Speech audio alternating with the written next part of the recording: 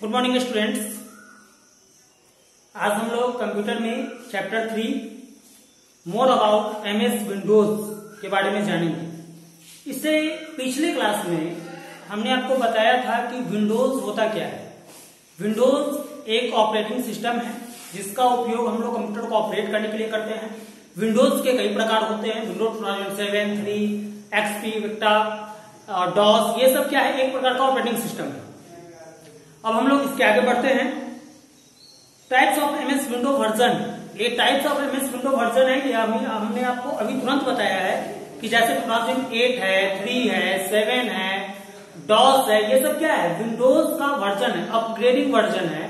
DOS हमारा सबसे पुराना वर्जन है, जिसका उपयोग आज भी स्टेशन पे किया जाता है, जिसका फॉर्म डिस्क ऑपरेटिंग सिस्टम होता है डॉस का।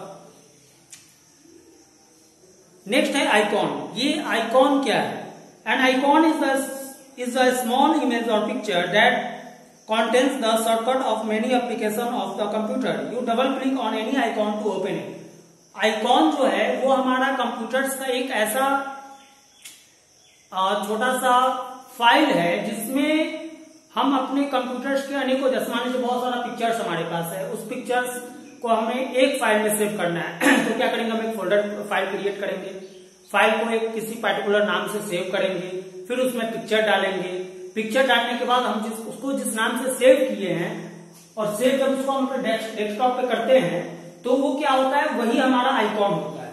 अब हम उस आइकॉन पे डबल क्लिक करेंगे। डबल क्लिक का अर्थ होता है लेफ़्ट क्लिक जब भी राइट क्लिक करना होता है तो आपके बुक में, या मैं खुद आपको बताऊँगा कि राइट क्लिक करना है। लेकिन जैसे ही क्लिक बोला जा रहा है, यानी लेफ़्ट क्लिक हमें करना है। माउस में हम जानते हैं कि तीन बटन होता है। लेफ़्ट राइट स्कॉलर तो यदि हमें केवल क्लिक बोला जा रहा है तो बिना कुछ सोचे हमें क्या करना है? लेफ़्ट बटन को ही क्लिक करना है। यदि राइट करना होगा तो खुद बोला जाएगा आपको इंस्ट्रक्शन दिया जाएगा कि click on the right button तो हमें क्या करना है? आइकॉन्स पे डबल क्लिक करना है। आपका आइकॉन्स ओपन हो जाएगा।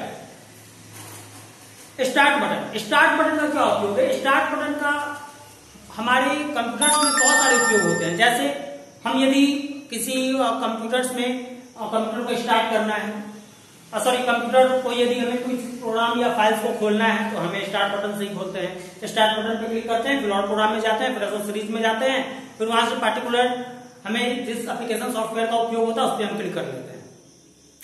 कंप्यूटर यदि शट डाउन करना होता है, बंद करना होता है, उसके लिए हम लोग स्टार्ट बटन पे जाते हैं। वहाँ पे शट डाउन कंप्यूटर्स का ऑप्शन लेते हैं, या टर्न ऑफ़ कंप्यूटर का ऑप्शन लेते हैं, फिर उस पर क्लिक करते हैं, आपका कंप्यूटर टर्न ऑफ़ हो जाता है।